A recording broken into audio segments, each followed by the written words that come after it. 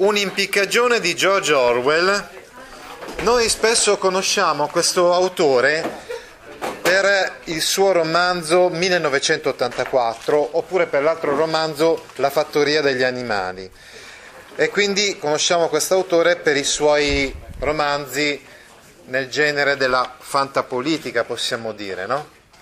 Però in realtà lui ha scritto anche dei romanzi e dei racconti di carattere sociale, quindi realistico un romanzo realistico, non di fantasia, ma di carattere sociale. Pensate che lui era proprio nato in Birmania, eh, scusate, nato a Motiari nel Bengala e in Birmania aveva mh, mm, fatto il, l'ufficiale della polizia imperiale e scrisse anche un romanzo su questa sua esperienza, cioè, o meglio, traendo spunto da questa sua esperienza, il romanzo Giorni in Birmania e poi una serie di, insomma, di racconti, tra cui quello che stiamo per leggere adesso.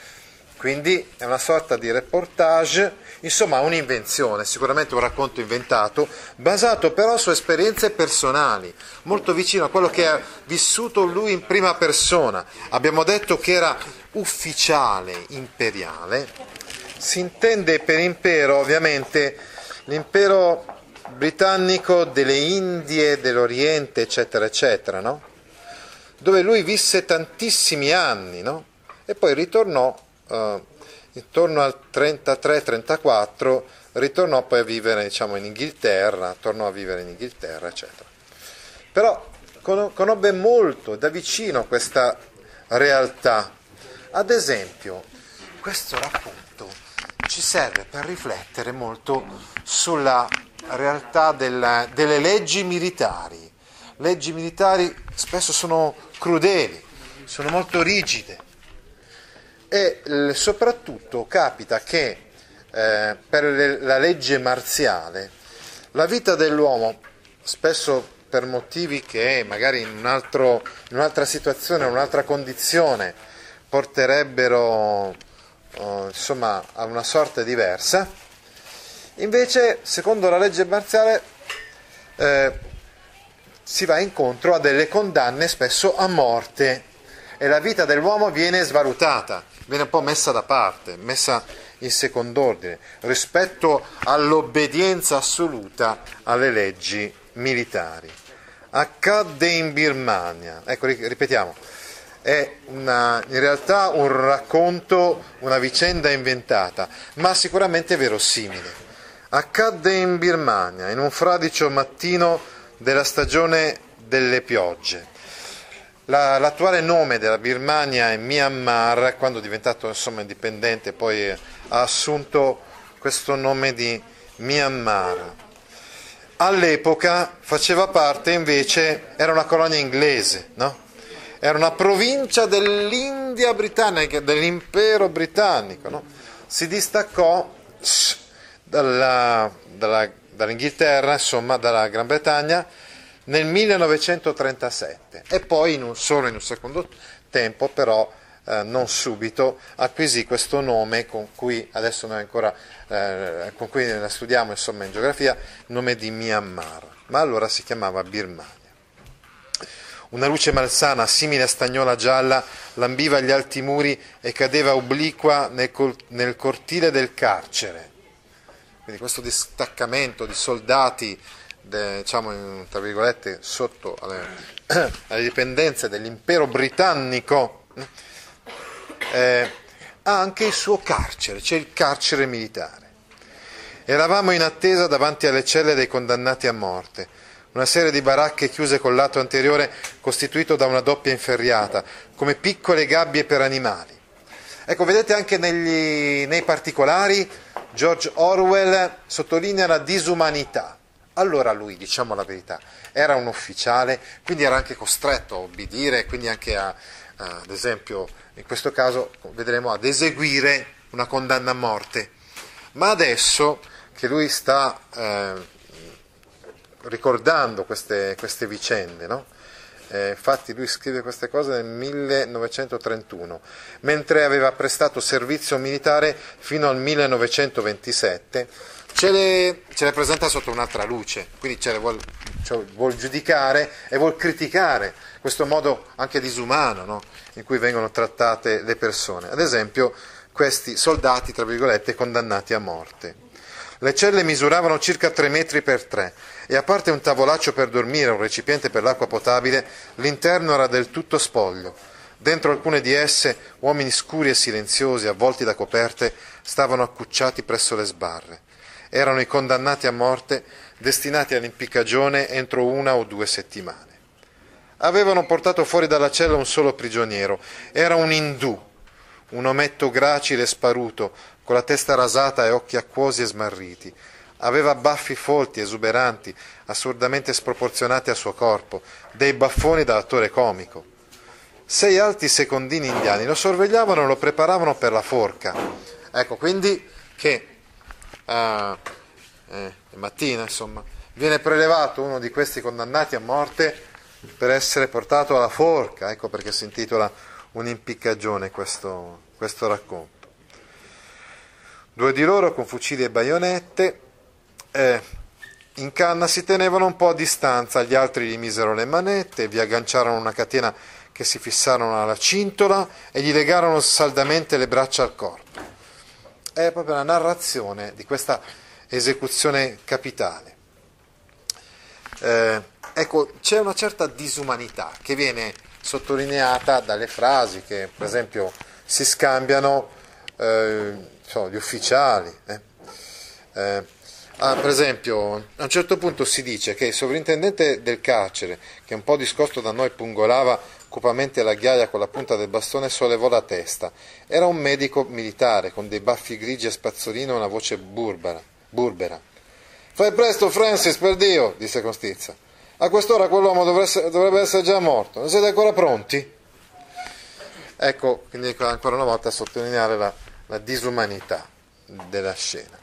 Francis, il carceriere capo, un grasso dravida, anche il carceriere è un indiano, eh, con gli occhiali d'oro e l'uniforme bianca, fece un cenno con la mano oscura. Sì signore, sì signore, borbottò, è tutto perfettamente pronto, il boia ci aspetta, procediamo subito. Beh, insomma, avanti, marci, i prigionieri non possono fare colazione se prima non sbrighiamo questa faccenda. Ecco, vedete, cioè, l'esecuzione a morte di questo povero indù, insomma, eh, deve essere fatta presto, altrimenti poi non si può fare, far fare colazione agli altri. Insomma. Quindi, come vedete, c'è una certa insensibilità che emerge. Poi cosa succede? Succede che mentre stanno preparando la, la forca, arriva un cane che, che disturba le, l'esecuzione. Allora prendono proprio il foulard del, del nostro George Orwell, diciamo, eh, e con il foulard fanno una specie di guinzaglio improvvisato di questo cane e lo legano.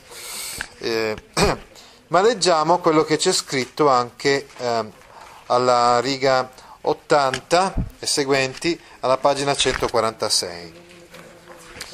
A un certo punto, anche se lo tenevano stretto da entrambe le spalle, fece un lieve scarto di lato per evitare una pozzanghera sul sentiero. Ecco, eh, adesso il, dire, il narratore, che praticamente il narratore sarebbe questo ufficiale, che è una sorta di alter ego di George Orwell, si sofferma un attimo a riflettere. Cioè, mentre stanno portando questo condannato a morte, vede che c'è una pozzanghera, questo condannato a morte si fa uno scarto, uno scarto di lato. Allora questo dà modo al nostro narratore di riflettere sul fatto che questo, questo uomo, questo indù che sta per essere condannato a morte, in realtà è un uomo nel pieno della sua vitalità fisica. Infatti dice, è strano, ma fino a quel momento non mi ero mai reso conto di cosa significhi sopprimere un uomo sano, cosciente. Quindi abbiamo detto, chi sta raccontando è uno degli ufficiali, giusto? È George Orwell il narratore, perché prefazione dice che... Ah sì, lo, ah, lo dice proprio eh, chiaramente, è proprio lui. Che l'ha visto lui questa faccenda, che era lui l'ufficiale che stava scortando il sì, sì, sì, infatti, la, ripeto, sono delle esperienze sue, eh, personali che, che, ha fatto, no? Eh, e quindi è George Orwell, il narratore, che a un certo punto riflette su questa cosa. Ma guarda com'è stato agile quello lì che era condannato a morte a evitare quella pozzanghera. Ora riflettendoci, quest'uomo qua è proprio nel pieno delle forze. Ecco, quindi, eh, quando vidi il prigioniero evitare la pozzanghera, compresi il mistero, l'indicibile ingiustizia di stroncare una vita in pieno rigoglio. Infatti, poi dice eh, Orwell in un altro testo, dice anche il peggior criminale che abbia mai camminato su questa terra è moralmente superiore al giudice che lo condanna alla, for- alla forca. Insomma, George Orwell con questo racconto ci vuol fare riflettere sull'assurdità della pena di morte, che rende in un certo senso ingiusto, anche se una persona può aver commesso tutto il male di, di questo mondo, ma rende più ingiusto l'esecutore e il giudice che condanna quella persona piuttosto che quella persona stessa lì. In, quel momento quella persona è vittima di una profonda ingiustizia, cioè ehm, utilizzando la legge, eccetera, eccetera, comunque qualcuno sopprime una vita che nel pieno del suo rigoglio, si dice appunto il narratore. Quell'uomo non era moribondo, era vivo esattamente come noi. Tutti gli organi del suo corpo funzionavano, l'intestino digeriva, la pelle si rinnovava, le unghie crescevano, i tessuti si riformavano, ogni organo s'affannava in un lavorio insensato. Cioè, riflette su questo fatto. Cioè, viene troncata una vita che proprio mh, nel pieno della sua dinamicità e vitalità le sue, le sue unghie avrebbero continuato a crescere, anche quando poi si sarebbe trovato in piedi davanti alla botola, anche quando precipitando nel vuoto non avrebbe avuto più di un decimo di secondo da vivere. Cioè riflette sul, sul fatto che comunque le cellule del suo corpo, persino le unghie, insomma, continuano a lavorare, a, a fare quello che stavano facendo, fino al momento in cui comunque la vita di quest'uomo viene troncata dall'esterno, da una, non, non, perché so, è moribondo e quindi da solo, eh, da sola sta terminando questa vita. Poi, eh, i suoi occhi vedevano la ghiaia gialla e le mura grigie, il cervello ancora ricordava, prevedeva, pensava, pensava addirittura alle pozzanghere. Lui e noi eravamo un gruppo di uomini che camminavano insieme, che vedevano, udivano, percepivano, capivano lo stesso mondo e fra due minuti uno schianto e uno di noi non sarebbe più esistito. Un cervello di meno, un mondo di meno. Però, ecco, non solo un cervello di meno, ma un mondo di. Perché una, una persona è come è come un mondo, un mondo di meno. La forca si trovava in un piccolo spiazzo, separato dal cortile principale della prigione e coperto da alte erbacce spinose. Era una costruzione in mattoni, più o meno un capanno con tre sole pareti, chiuso da un tavolato sopra il quale si ergevano due travi e una traversa da cui pendeva la corda. Il boia un detenuto coi capelli grigi e l'uniforme bianca della prigione, aspettava accanto al suo strumento. Quando arrivammo, ci salutò con un inchino servile. A un ordine di Francis, i due secondini, che ora lo tenevano più stretto che mai, un po' diressero, un po' sospinsero il prigioniero fino al patibolo, aiutandolo a salire goffamente la scala. Poi salì anche il boia e gli sistemò la corda intorno al collo. Ecco, c'è anche una descrizione, diciamo, molto dettagliata di questa esecuzione eh, capitale, che però, mh, mm, mentre intanto noi abbiamo in mente la riflessione che è stata fatta prima, non fa altro se non amplificare il nostro giudizio negativo su quello che sta avvenendo.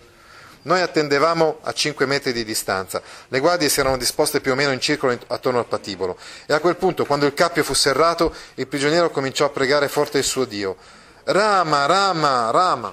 Ecco, il prigioniero abbiamo detto un indù e infatti invoca di questi, una di queste divinità indù.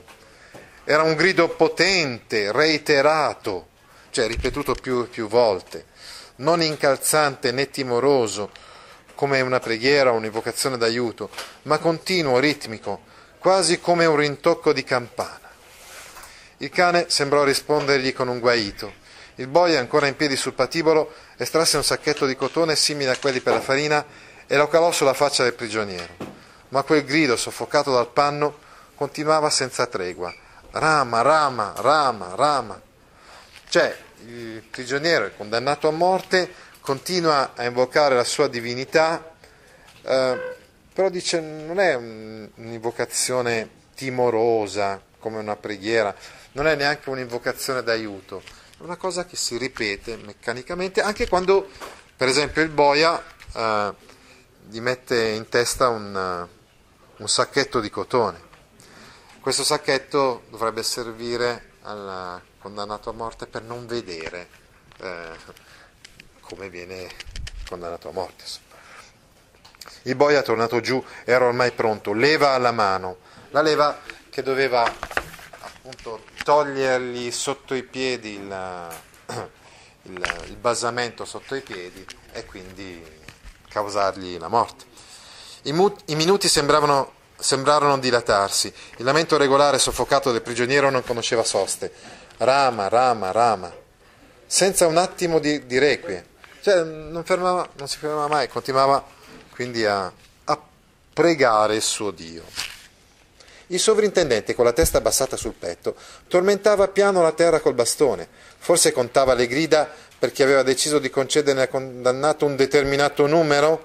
50? 100? Non so. Eh, comunque eh, è quello che deve dare il segnale. Forse aspetta, dà al condannato. Ognuno ha le, le sue ultime volontà. Evidentemente questo condannato quest'ultimo desiderio di invocare il Dio e glielo lasciano invocare. Tutti avevano cambiato colore, gli indiani erano diventati grigi come caffè di qualità scadente, un paio di baionette tremavano, guardavamo l'uomo sulla botola, legato e incappucciato e ascoltavamo le sue invocazioni. Ogni grido un altro secondo di vita. Pensavamo tutti la stessa cosa. Oh, uccidetelo subito, fatela finita, fate cessare quel grido insopportabile. Ecco, chi assiste effettivamente però prova sempre maggiore tormento a vedere questa scena, ad ascoltare come il condannato continua a lamentarsi. Di colpo il sovrintendente si decise, alzò la testa di scatto e fece un rapido movimento col bastone. Ciao! urlò quasi con ferocia, all'urlo che sta a indicare che è arrivato il momento dell'esecuzione.